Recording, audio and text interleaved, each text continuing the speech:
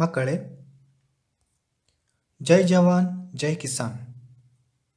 ಇದು ಯಾರ ಘೋಷವಾಕ್ಯ? ಸರಿಯಾಗಿ ಹೇಳಿದಿರಿ ಇದು ದಿವಂಗತ ಮಾಜಿ ಪ್ರಧಾನಮಂತ್ರಿ ಲಾಲ್ ಬಹದ್ದೂರ್ ಶಾಸ್ತ್ರಿಯವರ ಘೋಷವಾಕ್ಯ. ಇವತ್ತಿನ ನಮ್ಮ ಪಾಠ ದಿವಂಗತ ಮಾಜಿ ಪ್ರಧಾನಮಂತ್ರಿ ಲಾಲ್ ಬಹದ್ದೂರ್ ಶಾಸ್ತ್ರಿಜಿ ಅವರಿಗೆ ಸಮರ್ಪಿತವಾಗಿದೆ. ಲಾಲ್ ಬಹದ್ದೂರ್ ಶಾಸ್ತ್ರಿಯವರು ನಮ್ಮ ದೇಶದ ಎರಡನೆಯ ಪ್ರಧಾನಮಂತ್ರಿಯಾಗಿದ್ದರು. ಇವರು ತುಂಬ ಸರಳ ವ್ಯಕ್ತಿತ್ವವನ್ನು ಹೊಂದಿದ್ದರು. ಇವರು ಹುಟ್ಟಿದ್ದು ಎರಡನೇ ಅಕ್ಟೋಬರ್ ಹತ್ತೊಂಬತ್ತು ನೂರ ನಾಲ್ಕರಲ್ಲಿ. ಇವತ್ತಿನ ಪಾಠವು ಲಾಲ್ ಬಹದ್ದೂರ್ ಶಾಸ್ತ್ರಿಯವರ ಬಾಲ್ಯದಲ್ಲಿ ನಡೆದ ಒಂದು ಘಟನೆಯ ಕುರಿತಾಗಿದೆ. ಹಾಗಾದರೆ ಬನ್ನಿ, ಪಾಠದಲ್ಲಿ ಏನಿದೆ ಎಂದು ಓದಿ ತಿಳಿದುಕೊಳ್ಳೋಣ.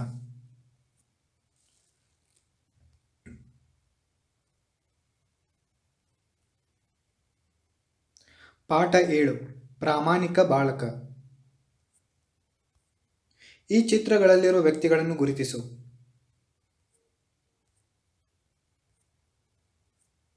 Mahatma Gandhi, Pandit Jawaharlal Nehru, doctor B R Ambedkar, Netaji Subhash Chandra Bose ಹಾಗೂ ಕಿತ್ತೂರು ರಾಣಿ ಚೆನ್ನಮ್ಮ. ಈ ಮಹನೀಯರು ದೇಶಕ್ಕಾಗಿ ಹೋರಾಡಿದವರು. ಇವರ ಬಾಲ್ಯವನ್ನು ಹಿಂದಿರುಗಿ ನೋಡಿದರೆ ಸಹಜ ತುಂಟಾಟದ ನಡುವೆ ಕೆಲವು ಆದರ್ಶದ ಗುಣಗಳು ಕಂಡುಬರುತ್ತವೆ. ಆದರ್ಶ ಗುಣಗಳನ್ನು ಮೈಗೂಡಿಸಿಕೊಂಡು ಬೆಳೆದ ಒಬ್ಬ ನೇತಾರನ ಬಾಲ್ಯ ಮತ್ತು ಬದುಕನ್ನು ತಿಳಿಯೋಣ. ಶಾಲೆಯ ಗಂಟೆ ಬಾರಿಸಿತು. ಶಾಲೆಯಿಂದ ಹೊರಬಂದ ಮಕ್ಕಳೆಲ್ಲ ಮನೆಯತ್ತ ಹೊರಟರು. ದಾರಿ ಬದಿಯ ಮಾವಿನ ತೋಪಿನಲ್ಲಿ ಬೆಳೆದು ಪಕ್ವವಾಗಿದ್ದ ಮಾವಿನ ಹಣ್ಣುಗಳು ಮಕ್ಕಳನ್ನು ಆಕರ್ಷಿಸಿದವು. ಹಣ್ಣು ತಿನ್ನುವ ಆಸೆಯಿಂದ ಮಕ್ಕಳು ತೋಪನ್ನು ಪ್ರವೇಶಿಸಿದರು. ಕೆಲವರು ಮರವನ್ನೇರಿದರೆ ಮತ್ತೆ ಕೆಲವರು ಕಲ್ಲು ಬೀಸಿದರು.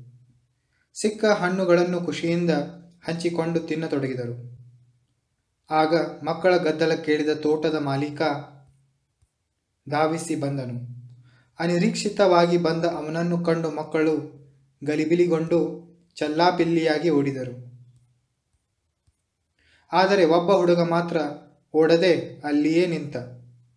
ಹತ್ತಿರ ಬಂದ ಮಾಲೀಕ ಹುಡುಗನನ್ನು ಹಿಡಿದು, ನಿನ್ನ ಅಪ್ಪ, ಅಮ್ಮ, ಗುರುಗಳು ಇದನ್ನೇ ಏನು ನಿನಗೆ ಕಲಿಸಿದ್ದು? ಎಂದು ಗದರಿಸಿದ. ಹುಡುಗ ಅಳತೊಡಗಿದ. ಆಗ ಮಾಲೀಕ, ಏಕೆ ಅಳುವೆ? ನಾನೇನು ನಿನಗೆ ಹೊಡೆದೆನೆ? ಎಂದನು. ಅದಕ್ಕೆ ಬಾಲಕ ವಿನಯದಿಂದ, ನಾನು ಮಾಡಿದ್ದು ತಪ್ಪು. ಇನ್ನೆಂದೂ ಇಂತಹ ತಪ್ಪನ್ನು ಮಾಡುವುದಿಲ್ಲ. ಆದರೆ ನಾನು ಮಾಡಿದ ತಪ್ಪಿಗೆ ನನ್ನ ತಂದೆ, ತಾಯಿ ಮತ್ತು ಗುರುಗಳು ನಿಂದನೆಗೆ ಗುರಿಯಾದರಲ್ಲ ಎಂದು ದುಃಖಿಸುತ್ತಿರುವೆ, ಎಂದನು. ಬಾಲಕನ ಮುಗ್ಧ ಹಾಗೂ ಪ್ರಾಮಾಣಿಕ ಮಾತುಗಳನ್ನು ಕೇಳಿ ಮಾಲೀಕನ ಮನಸ್ಸು ಕರಗಿತು.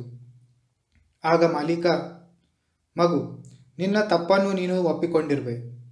ನಿನ್ನ ಪ್ರಾಮಾಣಿಕತೆ ನನಗೆ ಇಷ್ಟವಾಯಿತು.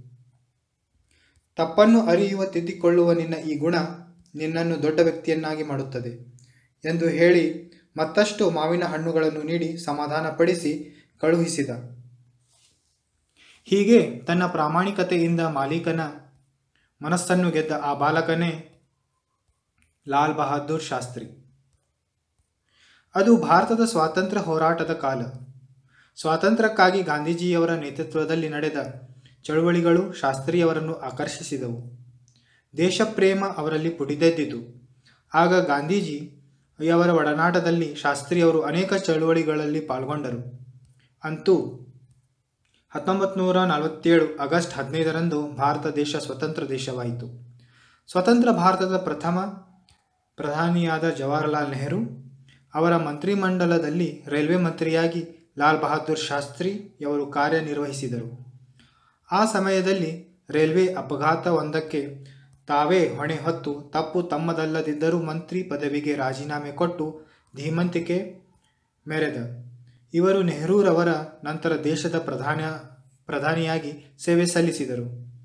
ಕೇವಲ ಹದಿನೆಂಟು ತಿಂಗಳ ಅವಧಿಯಲ್ಲಿ ತಮ್ಮ ಪ್ರಾಮಾಣಿಕತೆ ಹಾಗೂ ದೇಶ ಪ್ರೇಮದ ನಡವಳಿಕೆಗಳಿಂದ ದೇಶದೆಲ್ಲೆಡೆ ಮನೆ ಮಾತಾದರು ಶಾಸ್ತ್ರಿಯವರು ದಕ್ಷ ಆಡಳಿತಗಾರರಾಗಿ, ಶಾಂತಿ ದೂತರಾಗಿ, ದೇಶ ಪ್ರೇಮಿಗಳಾಗಿ, ದೇಶದ ಕೀರ್ತಿ ಪತಾಕೆ ಹಾರಿಸಿದರು.